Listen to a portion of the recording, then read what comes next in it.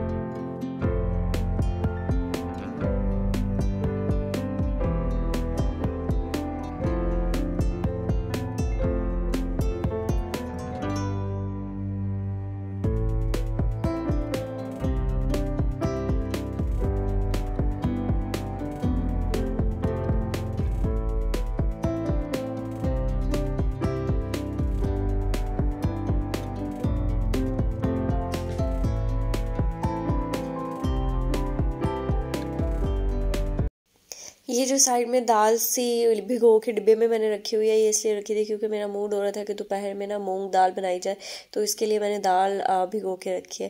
अच्छा जी, अब बना रही हूँ मैं आटे की छोटी छोटी जो बॉल्स होते हैं, जिसे लोइयाँ भी कहते हैं तो वो बना के मैं रख, पहले ही रखती हूँ, ताकि उसके बाद जो है वो जब मैं जो रोटी है उसको फ्लैट करूँ तो मुझे प्रॉब्लम ना हो कि भाई एक जो है फिर दोबारा से बॉल बनाया जाए, दूसरे का फिर से। तो ये मुझे बहुत अच्छा लगता है कि पहले से सारे बॉल्स बनाए जाएँ, फिर सबको जो है वो फ्लैट किया जाए। आजकल जो है वो पराठे ऑयल के खा रही हूँ, घी के पराठे नहीं खा रहे क्योंकि घी जो है वो बनाने वाला हुआ हुआ है। तो इस बार जो है वो घर में घी बनाना है, जो बाहर से हम लोग अक्सर जो है वो बाहर से भी ले आते हैं, लेकिन इस बार जो है वो काफ़ी सारी मलाई जोड़ी थी तो हम लोगों ने सोचा था कि घर में जो है वो बनाएँगे। तो अभी जो है वो बनाने वाला हुआ हुआ है तो तब तक हम थोड़ा ऑयल के खा रहे हैं। ऑयल के पराठे जो है वो बहुत ज़्यादा सॉफ्ट बनते हैं और जो घी के होते हैं ना, वो थोड़े से क्रिस्पी बनते हैं। दोनों ही बहुत अच्छे लगते हैं। कभी कभी उसका भी मूड होता है, वो खा बंदा। ऑयल जो है वो मैक्सिमम लोग नहीं खाते क्योंकि वो थोड़ा अनहेल्दी होता है तो इसलिए नहीं खाते।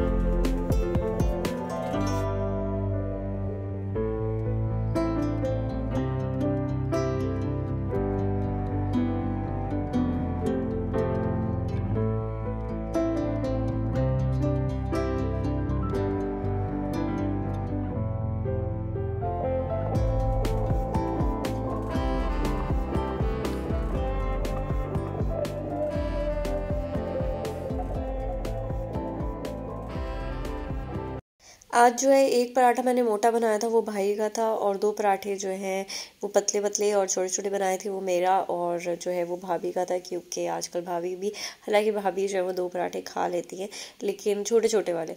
लेकिन ये कि आजकल उनका मूड नहीं हो रहा तो इसलिए जो है, उनको भी छोटा पराठा जो है, बना के दिया जा रहा है।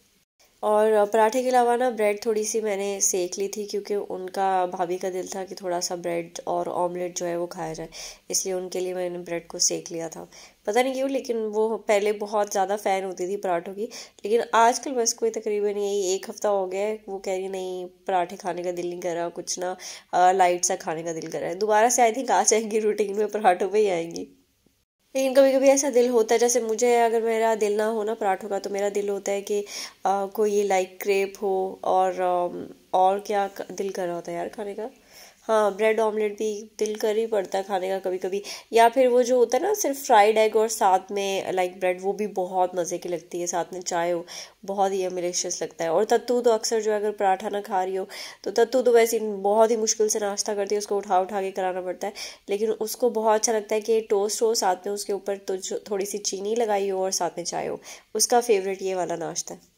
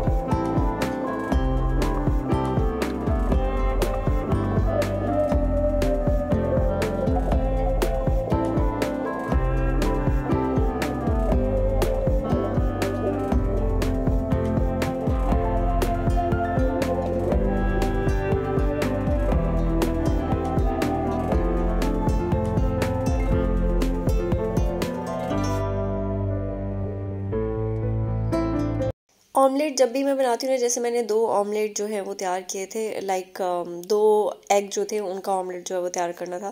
तो मैं हमेशा ये करती हूँ कि छोटे छोटे ऑमलेट जो है वो बनाती हूँ। ऐसे नहीं करती कि एकदम से सारा जो है वो गिरा दिया, अगर दो हैं या तीन है तो पूरा का पूरा जो है वो तवे पे या फ्राइंग पैन पे जो है वो उलट दिया और एक ही बार में जो है वो बना दिया। बिल्कुल अच्छा नहीं लगता यार इस तरह से, इतना बड़ा सा बन जाता है और वो इतना मोटा सा होता है।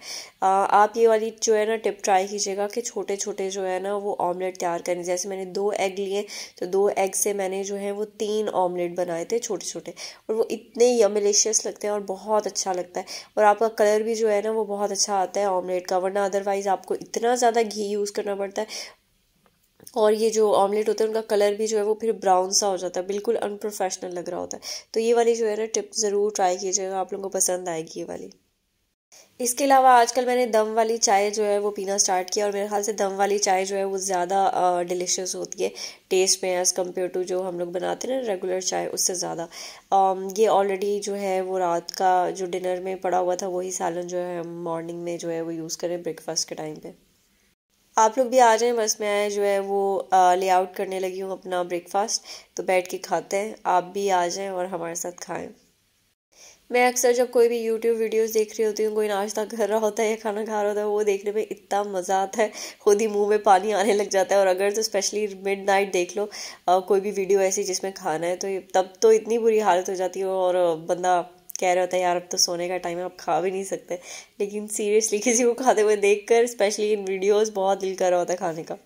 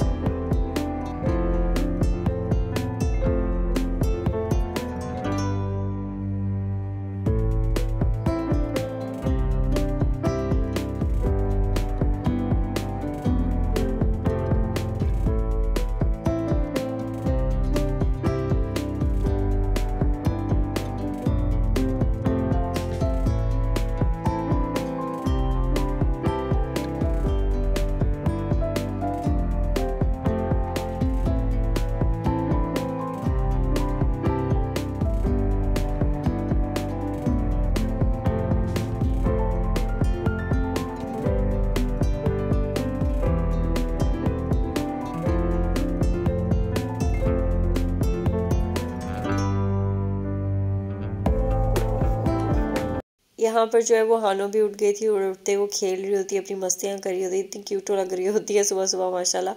और मैं जो है वो टीवी देख रही थी, और इसके अलावा ज़रा हानो का ये वाला टाइम जो होता है ना पाँच दस मिनट का ज़रा फ्रेश होने का टाइम होता है। फिर इसके बाद इसको थोड़ा वॉश वगैरह करना होता है, क्योंकि कांडा में डाल देते हैं, छोटे बच्चे उठते ही। फिर उसके बाद जो है इसका ब्रेकफास्ट टाइम स्टार्ट हो जाता है तो इसकी मामा जो है इसके लिए ब्रेकफास्ट बनाना तैयार, शुरू कर देती हैं। फिर इसके अलावा यहाँ पे इतने सारे बर्तन लगने ही लगने होते हैं, ज़ाहिर है तो वो बस मैं वॉश करना था। तो उसको वॉश करने के लिए मैं किचन में आ गई हूँ। बर्तन वॉश करने के साथ साथ जो है वो मैंने चाय दोबारा से रखी थी थोड़ी सी क्योंकि भाई का सर दर्द कर रहा था तो मैंने कहा मैं आपके लिए थोड़ी सी चाय बनाती हूँ। आप जो है इसे थोड़ा सा रस के साथ खाएँ, फिर उसके बाद पैनाडॉल ले लें, आप ठीक हो जाएँगे। तो बस वही चाय की भी तैयारियाँ साथ साथ चल रही हैं।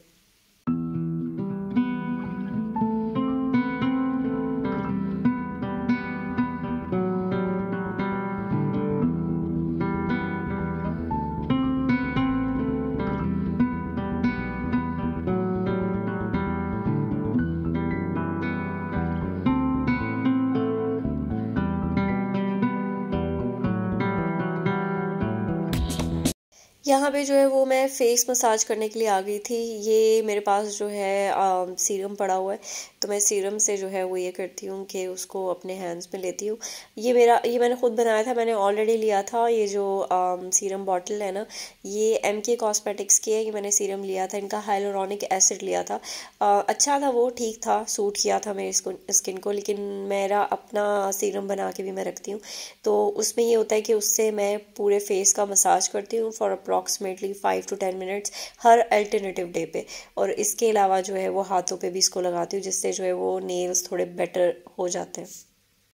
वरना क्यूटिकल्स जो हैं वो बाहर निकले होते हैं, इतना अजीब सा हाल हुआ होता है तो अजीब अजीब हुए होते हैं पूरे नेल्स तो बेटर होता है कि कोई सीरम वगैरह जो भी फेस पे अच्छे से मसाज करें। फेस बहुत ग्लो करता है और दूसरा ये कि अपने हाथों का भी थोड़ा थोड़ा ख्याल रखना पड़ता है। इसके अलावा मैंने मंगाई थी ये विटामिन बायोटिन जो है वो मंगाए थे तो इसके कुछ विटामिन मंगाने थे मैंने अपने और तत्व के लिए तो बस मंगवा के मैंने रखे। और ये बायोटिन प्लस है। और पहले भी एक बार मैंने खाया था, इससे आपके जो है वो बाल बहुत अच्छे हो जाते हैं। और ऐसा नहीं कि मैं रोज़ खाती हूँ, लेकिन हर अल्टरनेटिव डे पे ये भी खाती हूँ, ताकि आदत भी ना हो जाए और इसके साथ दूसरा विटामिन जैसे कोई और हो गया, जैसे मैंने बोन्स के लिए मंगाया था विटामिन डी ये हो गया या कोई भी मल्टी विटामिन की एक आदि कैप्सूल हो गई तो हर अल्टरनेटिव डे पे जो है वो खा सकते हैं। वैसे कुछ लोग रेगुलरली भी खाते हैं, अगर वैसे खाते हैं तो डॉक्टर से पूछ के खाना चाहिए अदरवाइज़ जो है रिकमेंडेड नहीं है। चलें जी, आज की वीडियो के लिए बस इतना ही। आप लोगों को उम्मीद है वीडियो बहुत अच्छी लगी होगी। आप लोगों ने रखना अपना बहुत सारा ख्याल। फ़िलहाल के लिए बस इतना ही। टाटा बाय बाय अल्लाह हाफिज़।